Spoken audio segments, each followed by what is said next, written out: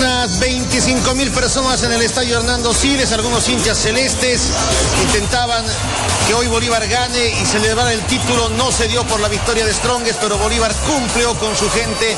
Ganó una vez más en condición de local ante un Blooming que, como había anunciado en la semana su técnico, el señor Gustavo Díaz, iba a dar pelea en la cancha. No iba a ser fácil para Bolívar y eso sucedió el día de hoy. Quiñones en el arco, Moya, Rodríguez, Seguino y Álvarez, Flores, Miranda, Callejón y Capdevila, Arce y Ferreira, la oncena inicial del Club Bolívar. Mientras que Blooming con Marco, Daniel Vaca, Ortiz, Candia, Pedraza y Bejarano, Áñez, Jiménez, Pinto y Escalante, Maldonado y Joselito Vaca. Varias ausencias en el equipo cruceño, pero a pesar de todo dio partido el equipo que vistió en la jornada de hoy de blanco. Los inicios del ataque de Bolívar que fue incesante durante todo el partido. Walter Flores, la pelota que queda rebotando para Sánchez Capdevila, centro con la comba al área linda, la asistencia de Capdevila para el gol de Arce, minuto 18, primera celebración para Bolívar, se jugaban, reiteramos, 18 minutos y era el gol número 10, el décimo de Arce en su mejor campaña con la casaca celeste. Es muy buen centro, cabecea sin saltar dentro de dos defensores, eh, Juan Carlos Arce. El planteamiento de Blooming fue para ir a complicarlo a Bolívar. No llevó muchos marcadores el técnico, no llevó mucho volante de contención como normalmente suele hacerse. Eso era un partido peligroso, podía sacar el partido que sacó finalmente porque jugó bien Blooming, pero podía haber tomado también muchos goles si es que Bolívar estaban inspirado.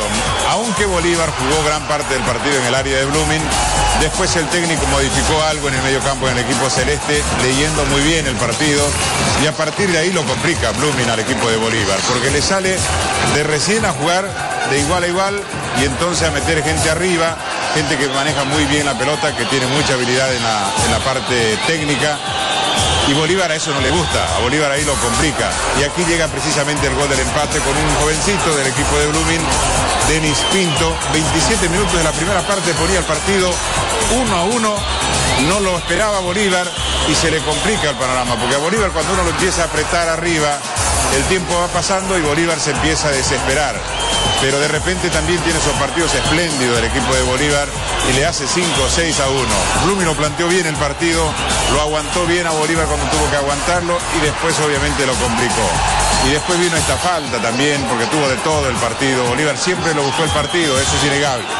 Roja para Edgar Escalante por doble amarilla. A los 27 marcó el empate Denis Pinto, segundo gol consecutivo para el joven nuevo jugador de Blooming. A los 29 se quedaba con uno menos el equipo visitante por esa roja para Edgar Escalante, que después de varios partidos reaparecía con la casaca del equipo de la Academia Cruceña. Remate de Ferreira, más trabajo para Vaca, como siempre Vaca, fenomenal bajo los tres palos del equipo de Blooming. Si algo bueno le queda a Blooming de esta flojísima campaña del torneo, es la aparición de este chico Marco Vaca, un arquero con muchísimo futuro en nuestro fútbol. Otra vez, ahora el palo tras el segundo remate por parte de Sánchez Capdevila. Rudy Cardoso reapareció con la casaca celeste luego de tres meses. Ahí está justamente el momento del retorno de Rudy Cardoso. Parecía difícil, casi imposible que vuelva en este torneo, pero volvió Cardoso para alegría de Bolívar y de todo el fútbol boliviano. Juan Callejón que intenta otra vez Vaca que rechazaba. Además ingresó Yeserote por Álvarez y Arrascaita por Moya. Arrascaita que ingresó para darle la victoria al equipo de Portugal, que de esa manera suma ya 27 puntos jugando en condición de local, a pesar de algunos resultados malos, cuatro empates que tuvo Bolívar en casa. Hoy está a punto de darse el quinto, lo que le hubiera complicado en extremo la chance al equipo celeste, pero al final lo ganaron con el ingreso de Arrascaita. En Blooming ingresó Miguel Loaiza por Áñez, José Ayala por Vaca y Diego Sandoval por Jiménez. También fue expulsado el técnico Gustavo Díaz al minuto 82. Otra opción en la boca del arco, desborde de Callejón. Ya estaba vencido el portero Vaca, el remate de Arce. No entraba la pelota, se desesperaba el equipo celeste.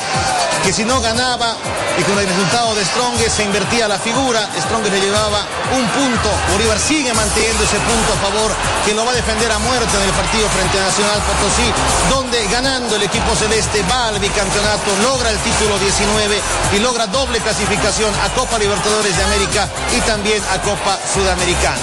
Arrascaita, Callejón, toda la maquinaria ofensiva de Bolívar, Damir Miranda, el toque para Arce que se abre camino del área, devuelve para Miranda, desborde, centro y Arrascaita que llega como también esperaba Ferreira, Por supuesto que había motivos para celebrar así con locura por parte de la gente de Bolívar, que de local en algunos partidos ha sufrido mucho. Contra Wilstermann también lo dio vuelta así y lo ganó sobre la hora con gol de Ferreira.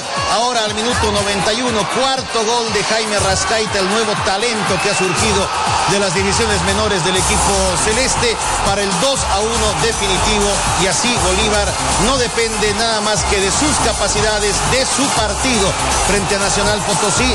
Bolívar que ya sabe cuál será su primer rival en la Copa Libertadores de América, deberá ir a jugar hasta Guayaquil, partido frente al equipo de Melec. Luego va a jugar en La Paz frente al León y va a terminar la primera ronda jugando frente al Flamengo en el Estadio Hernando Siles. Sufrida pero gran victoria de Bolívar.